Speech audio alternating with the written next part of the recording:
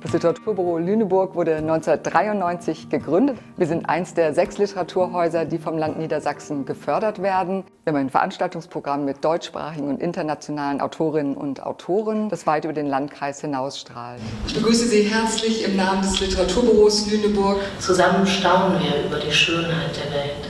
Wir strecken uns, träumen einander zu, entfalten fantastische Geschichten.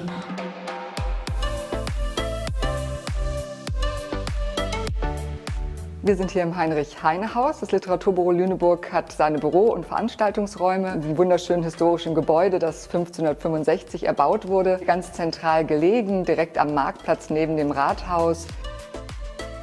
Wir veranstalten in verschiedenen Reihen, zum Beispiel die Reihe Ausgewählt, in der wir ganz verschiedene Sparten der Literatur vorstellen, also auch Biografien, Graphic Novel, äh, Essays.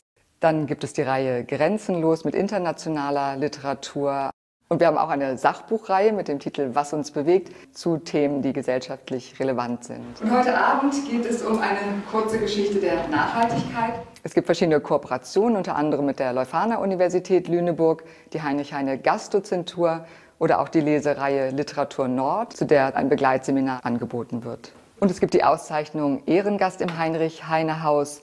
Bedeutende deutschsprachige Autorinnen und Autoren werden vom Literarischen Beirat benannt und kommen zu einer Veranstaltung dann nach Lüneburg. Darunter zum Beispiel Hertha Müller oder Navid Kermani, Ingo Schulze.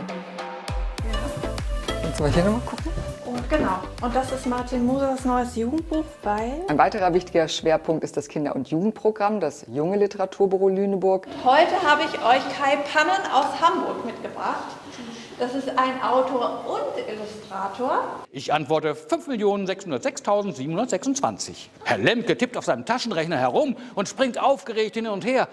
Wahnsinn, sowas kann doch kein Mensch im Kopf ausrechnen. Da bieten wir Kreativworkshops, Lesungen oder auch Philosophieren mit Kindern an und gehen damit direkt in die Schulen, um wirklich alle Kinder und Jugendlichen zu erreichen. Das geht schon in der Kita los und bis in die Oberstufe.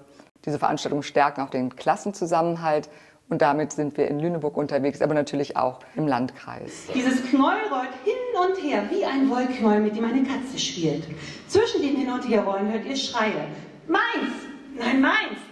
Ich habe hier noch gar nichts vom Jubiläum erzählt, aber nee, Markus Orts wird natürlich einer der Autoren sein. Ja, super. Die kommen von den ehemaligen Stipendiaten. Und den literarischen Nachwuchs fördern wir über das Heinrich-Heine-Stipendium, das vom Land Niedersachsen zusammen mit der Hansestadt Lüneburg vergeben wird. Deutschsprachige Autorinnen und Autoren können sich bewerben, die schon mindestens ein Buch veröffentlicht haben. Das Stipendium ist verbunden mit einem Aufenthalt in Lüneburg über drei Monate und das Land Niedersachsen vergibt ein Stipendiumsgeld in dieser Zeit.